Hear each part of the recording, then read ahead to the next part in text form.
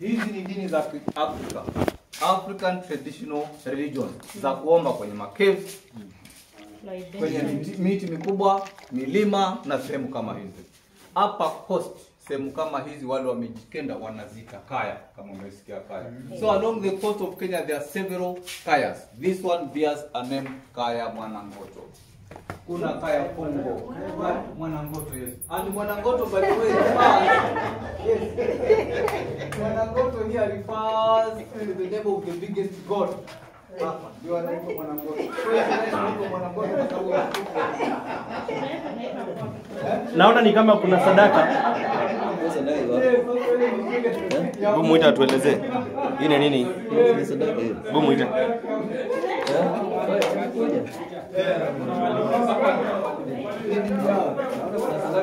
Naona ni kama kuna sadaka. Yes, hizi ni coins ambazo wanaweka pale. Huwa hawaweki pesa za noti. Wanaweka pesa za coins zile kwa hiyo coconut shell. And wanaamini kwamba wakidrop coins yoyote pale, any kind of a coin, hata ile ya zamani ya wakoloni ya mashimo katikati, mm. then wanapata blessings from the gods. Unaona, yes, anapata blessings from the gods. And in case if these coconut shells filled up with coins, wana hawachukui pesa wanachimba mashimo and then they bury the money on the, ground yes. Hawachukui hawachukui yes ziko. Ziko, yes. But nobody is allowed to dig the money out. Because ukitoa hiyo pesa ni kwamba miungu itakasirika tu.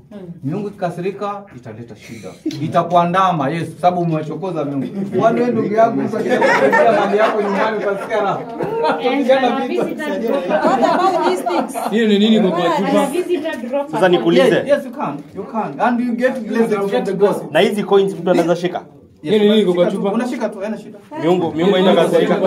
hizi hizi chupa hizi. All these bottles had rose water. This is not alcohol. Hii ni maji inaitwa rose water. Rose water. Rose water. It produces a bit good smell this one. So sometimes the followers of this religion buys this rose water from the shops around and sprinkle it on the ground kunanukia Yes, vizuri. this- yes kunanukia vizuri and these flags are using it bears three different colors eh? Each color here symbolizes a different god. Mm. yes because they believe on many gods not like in christianity where people believe in one god. Wanaamini miungu mingi. So these are symbolic colors of god because according to them one cannot see god with his eyes. Mm. sasa hii red according to them is god that comes from the mountains. His work is to bring peace to the land sasa watu wakipigana labda wakiuana watakuja kuomba huyu black is god that comes from the land. His work is to bring rain when there's drought. Hmm. whilst huyu mweupe ni mungu wa kutoka kwa bahari. Yeye ni wa kuondoa magonjwa na accident. Hmm. yes. Sasa in case kama kutakuwa na epidemic disease for example wakati tulikuwa na covid-19 walikuja kuomba mungu symbolized by the white color. And again the even, yes walichinja mbuzi mweupe hapa kupea kafara Wakawacha nyama hapa. wanaamini no once they kill the animal here they take the carcass outside. Wanaenda Oh. kushare na kula. Wanakula. lazima Wachinjie hapa. yes. Ibaki hapa Hata kuku wanachinjia hapo Yes, wanabeba. yes wanabeba. And kuna mzee yeye ambaye huwa anaongoza maombi hapa kawaida. Because yeye ana act kama prophet. Between the gods and the human beings.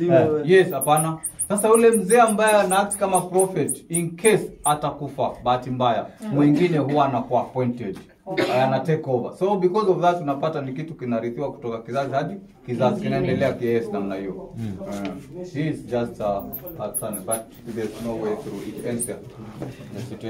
Lakini pia maslezo walikuwa kila mahali. Yes everywhere. Na hizi nini zinakaa mchele hapa chini? Hii ni guano. Guano is the dropping of bats yes hapa pia kuna bus ndio hizo tunaona sasa hizi ndio zinaweka nje.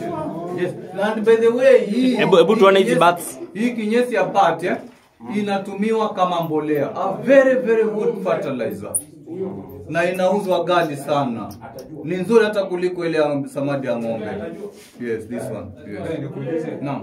ni jamii zetu zilikuwa zinaishi hapo alafu hii jamii zetu zinaishi alafu pia huyu ngota maana na- Mwanangoto ni Mungu. Ni Mungu. Kati ya miungu mitatu. Mkubwa wao kabisa wanaitwa? Mwanangoto. jamii gani Wadigo. Wadigo. Wadigo. Mpaka wa leo. But hapana, sasa kuna jamii, yani kuna watu tofauti ambao wamekuja kuishi Shimoni. lakini wenyeji walikuwa Yes, Wadigo. And a very small subdivision of the Digo community wanaitwa the Wakifundi. Sasa wakifundi Yes. kuna wak- alafu wao chichifundi ni kina nani Chichifundi ni Wakifundi wenyewe. Wakifundi they are called so because it is said hao watu walikuwa wana ufundi wa kutengeneza vyombo vya usafiri wa baharini. Yes, Wakifundi ni jamii ndogo ambayo kwamba it came up because of the people who are known as the Shirazi. Shirazi walitoka Gulf wakikimbia vita kule vya jihad, wakakuja along the coast of East Africa. Walipokuja along the coast of East Africa, especially the south coast of Kenya here, waka intermingle na Wadigo na Waduruma, wakazaa kizazi ambacho kwamba sasa si Kidigo, si Kiduruma, si Kiswahili, wakazaliwa hawa the Wakifundi. Hao ndio ambao kwamba yes, hao ndio wa kwanza kuishi Shimoni hao. kwa hivyo Kijifunde sasa ni jamii ndogo ya wadigo Yes, yes. Sasa wakifika pale Warabuni walikuwa wanakuwa kaspete taji.